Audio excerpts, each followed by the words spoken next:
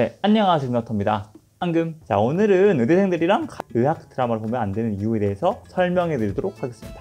여러분은 드라마를 볼 때 어떤 유형이세요? 1번 말없이 감상한다. 2번 논리적 오류가 있음에도 일단 맥락이 중요하다 3번. 현실적이지 않으면 받아들이지 않는다. 하지만 말은 별로 안 한다. 4번. 현실적으로 일치하지 않기 때문에 받아들이지 않고 옆 사람에게 왜 이게 아닌지 설명을 한다. 5번. 또 이게 뭐냐고 묻는다. 여러분들은 여기서 어떤 유형이세요?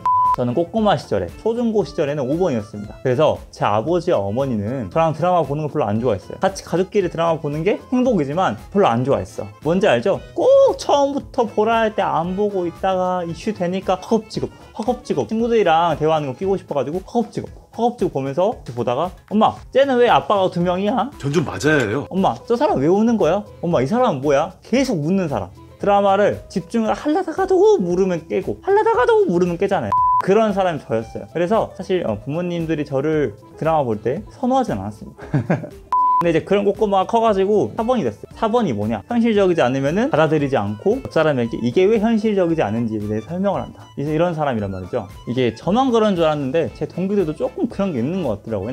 왜냐면은 의학 드라마나 혹은 드라마에서 의학에서 나오면은 아 동기들이 다들 모이잖아요. 모일 때 이제 이런 이야기를 해요 야 이거 봤냐? 야그 말이 안 되지 않냐? 이러면서 자기들의 의학 지식을 뽐내나거나 뭔가 이상한 말을 좀 의학적인 이야기를 토론을 해요. 그거 가지고. 사실 드라마에서는 별로 안 중요하고 그냥 넘어갈 수 있는데 혹은 주인공을 좀 띄워주는 띄워주는 그런 내용이었는데 우리는 모여가지고 그게 왜 말이 안 되는지에 대해 설명을 하고 있어요. 예를 들어 태양의 후예가 있었는데 사막 한가운데서 수술하는 거그 다음에 있었어요. 수술이란 거는 무균 상태를 되게 중요시해요. 그래서 수술에 수술방에서 쓰는 기구들도 1년의 과정을 거쳐서 무균 상태이고 의사들도 엄청나게 잘 씻고 수술 가운을 입고 수술 장갑도 끼고 해서 절대 균이 들어가지 않는 상태로 수술한단 말이죠. 근데 이 태양의 후예에서는 사막 한가운데 수술했어요. 그러면 모래도 들어오고 바람도 들어오고 개판이잖아요. 말이 안 돼. 사실 환자 배를 여는 순간 죽는 거예요. 거의 사망이에요. 살인이야, 살인. 우리는 보면서 무슨 생각이 나면은, 야, 일부러 사람 죽이는 거 아니냐? 이런 이야기도 했어. 오죽했으면. 오죽했으면 우리가. 원래 아싸 특. 아는 거 나오면 신나서 설명하잖아요. 구구절절, 1절, 2절, 3절, 4절, 4절까지 하잖아요. 그런 느낌이 약간 아싸인데 저는 좀 그랬던 것 같아요. 그 외에도 대체 이 의학 드라마 속 주인공들은 일을 왜 안 하는가에 대해서도 우리끼리 좀 관건이었어요. 의학 드라마를 보면 주인공들은 수술을 하루에 한두 개 혹은 많아봤자 두세 개 한단 말이죠.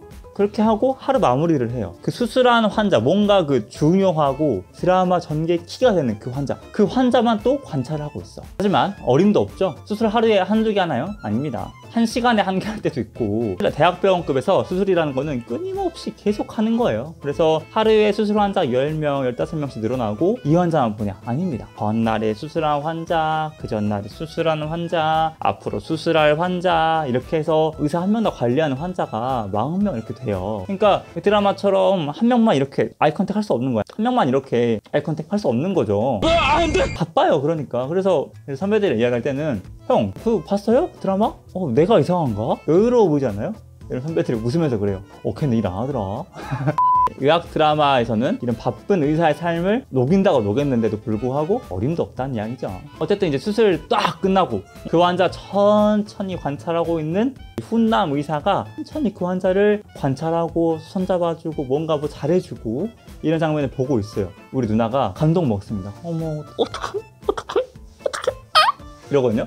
이렇게 해요. 진짜로. 그러면은 저는 보고 있다가 누나, 누나, 누나, 누나. 저거 말이 안 돼. 저런 환자가 한 명만 있는 게 아니고 10명, 20명, 30명, 40명 있어. 어? 누나. 그리고 저렇게 훈훈한 의사도 없어. 말이 될 것 같아? 말이 되지 않아, 누나. 누나, 그리고 저렇게 환자 한 명만 보고 있잖아? 저런 사람 어떤 사람인 줄 알아? 중환자야. 그러니까 별로 안 좋은 거라고. 알겠어, 누나? 누나, 알겠어? 이러면 이제 누나가 이러다가 야, 나가. 나가 뒤지기 싫으면 안 나가죠. 어림도 없죠. 그러다가 우리 누나도 또 하나 물어봅니다. 야, 동생아, 하나 궁금한 게 있어. 일로 와봐. 궁금한 게 있어. 어, 누나 뭐? 저 환자 수술해야 되는지? 저번 환자 무슨 병이지? 그 나도 모르는데. 전 좀 맞아야 해요. 뭐? 뭐가 궁금해? 막 달려가요.